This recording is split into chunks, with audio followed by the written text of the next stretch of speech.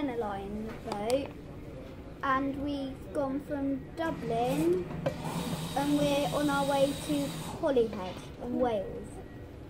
We're in the Stena Plus Lounge and you can get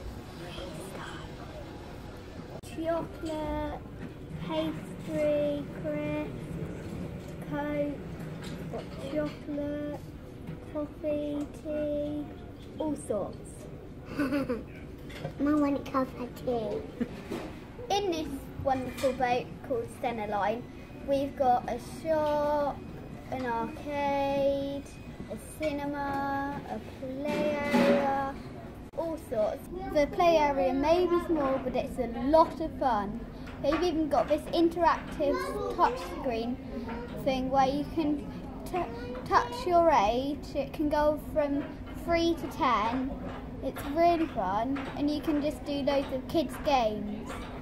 My personal favourite part of the boat is the free wine in the Stena Plus Lounge, and also on our boat over, Stena Plus, Plus Lounge was a little bit nicer than it is on the boat back. So we had really comfy, spacious leather seats and little tables, and that was really quite enjoyable. I really definitely think it's worth upgrading to Stena Plus because you do get so much better service and nicer food, and it's nice to have sort of as many drinks as you want as you want them.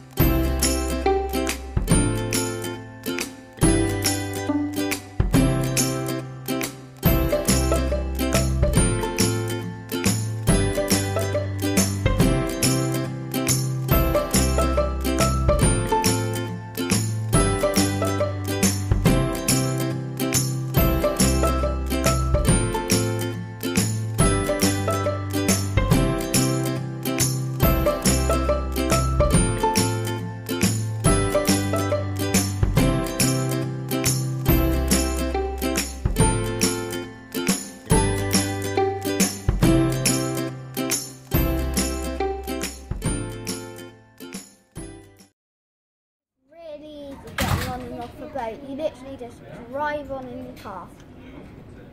Yeah, I am somebody who really doesn't like flying at all. So for me, travelling by boat is a lot less stressful.